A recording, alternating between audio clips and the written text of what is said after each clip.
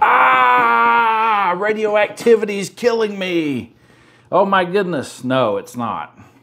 It is uranium glass. It's made with 2% uranium oxide, you know, not the uranium radioactive isotope that they're making nuclear fission rods with and all that crazy stuff. But it is really cool. So let's get into it. All right, guys, it's me, Rodney at Rustique Relics, and today we're going to talk about uranium glass. Now, this is my personal collection. We're going to talk about how it's made, or how it was made. Let me correct myself there, because I don't think anybody's making it anymore. They could be, especially with art glass companies. But how it was made, when it was made, and, you know, how to display it, and why I collect it personally. So let's get started. Uranium glass is also known as Vaseline glass. It is a type of glassware that contains small amounts of uranium oxide, more specifically about 2% or less. Some pieces may have more, and they'll glow a lot stronger, but generally 2% is where it's at. The oxide in the glass is what gives it its distinctive look. It's, it's an alluring green and yellow and and you know more different shades of green. This one's opaque and it's yellow. It's also uranium glass. Ironically, this piece of milk glass right here, or Fenton Amber Crest, isn't that what that's called? Fenton Amber Crest? Yeah, see, she's she's nodding in the background. Let me know I'm correct. But this piece is actually uh, uranium glass. Now let's get into how to identify it based I can identify it based on the color, but if you haven't been around it enough, there's an easier way, and let me show you. Let's cut these lights All out. right, now that the lights are out, guys, we're gonna hit it with a black light, just a generic old black light flashlight. Here we go. Boom, look at that. It's glowing fluorescent green. There's my juicer, fluorescent green. That yellow vase, look at that. That thing is awesome. I would say this one's probably more than 2%, but it could be it could be because it's opaque that makes it so much more powerful. Look at this yellow piece. That's that candlestick. Man, that thing is awesome. My cookie jar. Love it. Love it.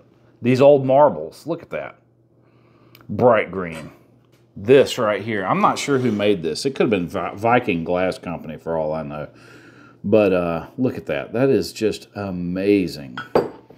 This piece right here, my personal favorite. I looked for it for years, and then somebody brought it to me, a customer. It was amazing. She saw something I had posted, and next thing I know, she brought it to me at the store. It was it's it's truly an amazing gift. This picture, I really like it a lot. It's got a pink handle. The pink does not fluoresce. See how I put my hand in front of it? Doesn't fluoresce. And look at that. That is just absolutely amazing. I love it. Now that milk glass piece, right? So let's shine it from the front. No green, but watch this. Oh my goodness. Uranium glass. We found this one on accident. Also, something called Vitrock is also, uh, it's white and has uranium glass in it. Now that we know how to identify uranium glass, and you can also identify it during the light too, because I got two spotlights on me right there. And look, you're still getting a fluoresce, right? It's still fluorescing under the black light. Each piece, except for the white, but when you shove it down in it, you still get the same effect as you would when it's dark out. Now that you know how to identify it, let's discuss the era in which it was created. It was created in the late 19th century into the early 20th century.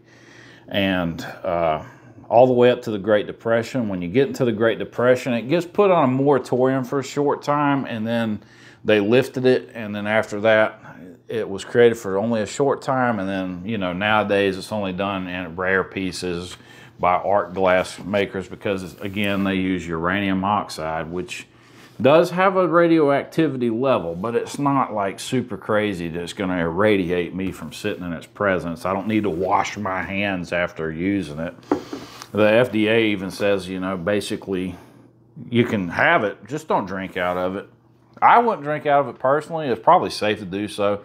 I wouldn't do it because it's collectible and it's valuable. I mean, this stuff is, there's not much of it left.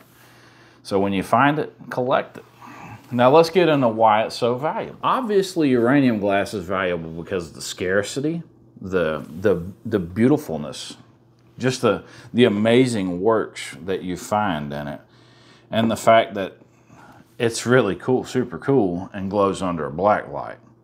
But really, it's because it's scarce. There's not much of it left, and uh, it's hard to find pieces that aren't chipped or broken. So where do you go and look for uranium glass? Uh, you can look on eBay. That's uh, obviously eBay. Uh, antique stores is where you're going to find your more unique pieces, your rarer pieces. Uh, flea markets, you might even find it at yard sales. Uh, Missy found this one at an indoor yard sale and got it for me, which was really cool because she knows I like it. Most of my pieces came from Rustique Relics. This was a gift given to me by a friend, and then this one was given to me by a customer. So I found those. Uh, this one was found for me. A friend of mine found it at an indoor yard sale and brought it to me, these little marbles. Uh, you can find it in old marble collections. If you and if you collect old marbles, check them with your, your light because more than likely you've got a couple of your clear pieces or your green ones are going to be uranium glass. And the reason why I collect it is because it's cool. I like the way that it glows.